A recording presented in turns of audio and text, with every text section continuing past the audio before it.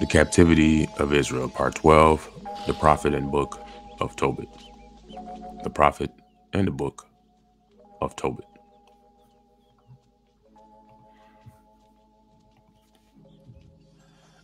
The book of the words of Tobit, the son of Tobiah, the son of Anael, the son of Aduel, the son of Gabael, of the seed of Asael, of the tribe of Naphtali, of the tribe of Naphtali. Tobit is from the tribe or the family of Naphtali. Therefore, he is one of the sons of Israel. He continues writing that at the time of Enemessar, king of the Assyrians, he and his family were led captive out of Thisbe, which is at the right hand of that city, which is called properly Naphtali in Galilee, above Aser or Asher.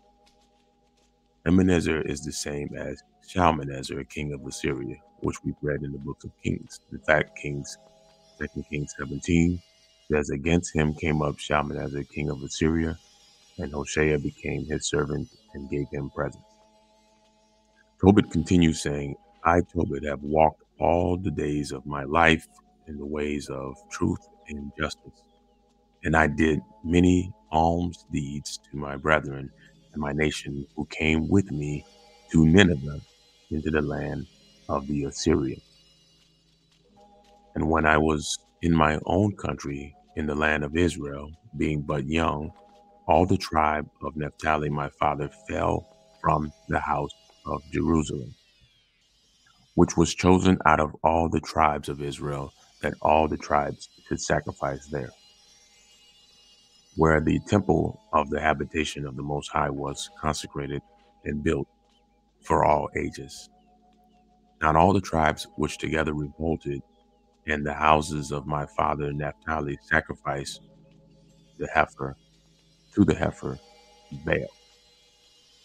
So Tobit is basically telling us the story of Jeroboam making the ten tribes revolt against Judah and Jerusalem, the house of David, and he placed them to serve Baal when he removed all the Levite priests from their duties.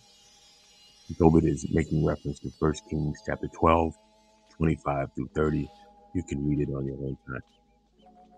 So this is a super whoa and wow uh, because you have a prophet in a book called the Apocrypha revealing exactly what took place and how his family responded to it because we typically would think every one of the 10 tribes that broke away from the house of Judah during the days blindly followed Jeroboam with the two calves. However, many, like Tobit, were very much aware of what Jer- Jeroboam did and what it meant to them as far as worship towards the God of Israel.